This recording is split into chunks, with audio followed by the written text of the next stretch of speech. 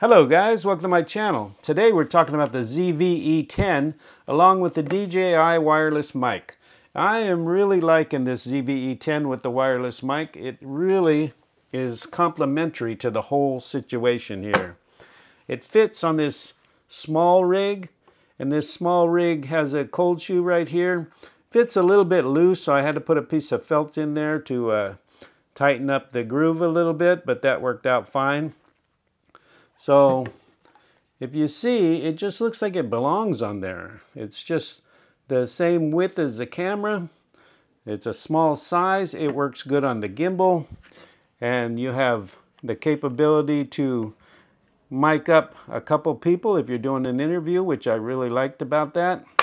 It really is a nice setup. But that's not what we're here to talk about. We are here to talk about the handle the rocker, zoom rocker control, remote control handle, tripod that comes with the Sony ZV-E10. Comes in the blogger kit. I think it was worth it. It was my choice. It may not be worth it for you. And when you see what I got to talk about here today, we are talking about the size of it next to the Crane M3. So the Crane M3 and this Sony remote control handle are the same basic footprint. They have the same basic size. And the Crane M3 has some powerful motors on there which control the camera really well. I'm really liking that. And there is some advantages to having both of these. So one of the advantages to having both of these is you can use the quarter 20 mount to go in the bottom of the of the Crane M3. I'm DJI oriented here. So now, now you have all full control of your camera from the bottom of the gimbal and you have dual hand support. And that's just the beginning of it. You also have the tripod. You can fold out the feet just like you could with the tripod that comes with the Crane M3. But there is a side quarter 20. And this side quarter 20 gives you the ability to Grip this with both hands from two different angles, which gives you some more stability. So if you just use this quarter 20 to, to put that in like that, let me turn this around here. This is also, there is a button on the, on the Sony to uh, turn it around. Okay, so there we go.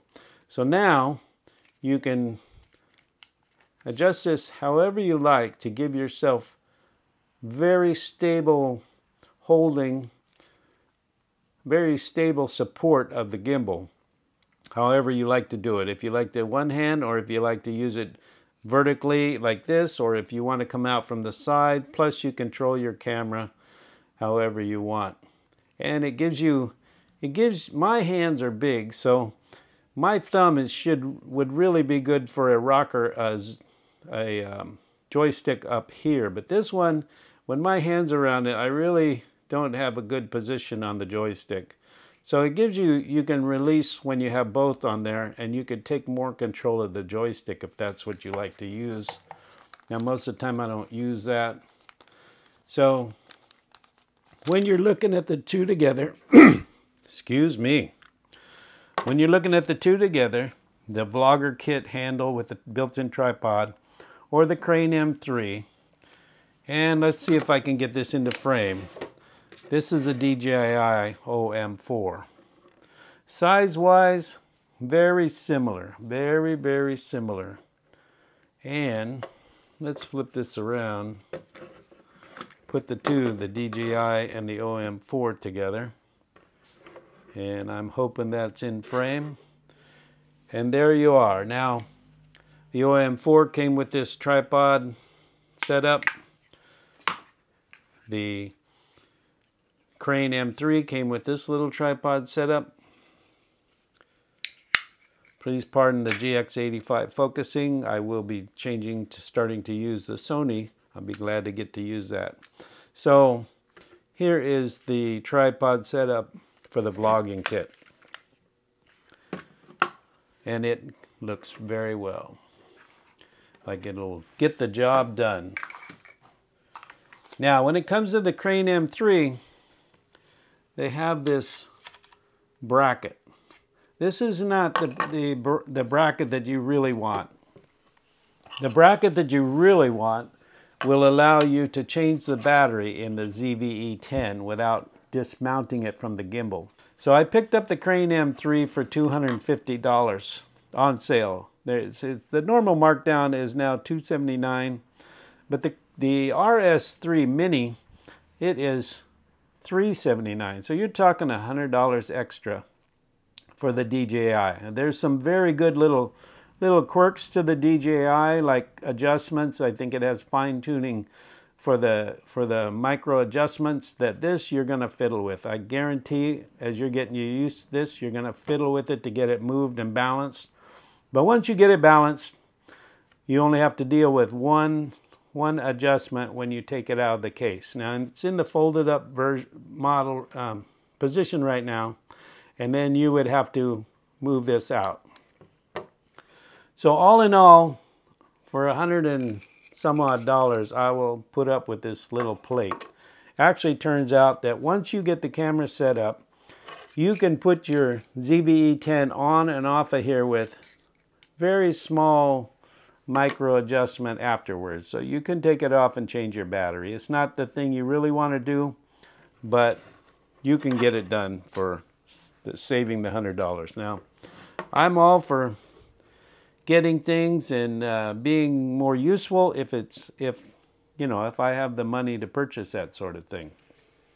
But what I've found between the DJI OM4 and the Smooth Q that I had, the Smooth Q was 90 $99. I believe it was $100. But this OM4, I always wanted the DJI. It's it seems to be better built, better quality, and but there is a dead movement adjustment, I believe, on the Crane M3 that they call it the deadpan. And it's too excessive for me on this one.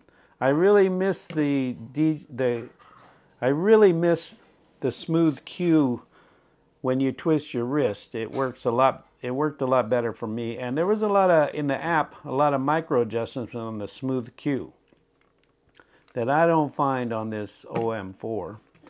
And I know that I know they already have the OM6, but I'm just saying that there was some things that Zhiyun does better than DJI and some things that DJI does better than the Crane M3 Zhiyun. So, you know, it is what it is.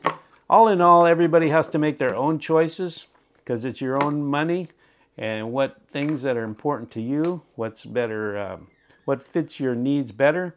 But I just wanted to get this out here and show you what I came up with, show you the size difference between the two.